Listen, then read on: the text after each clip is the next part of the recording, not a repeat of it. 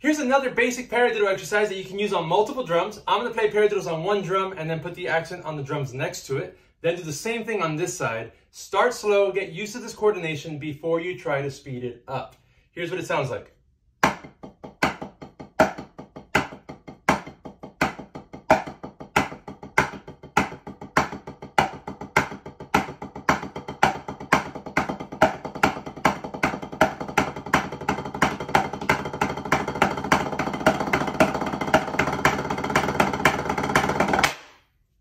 Give it a shot.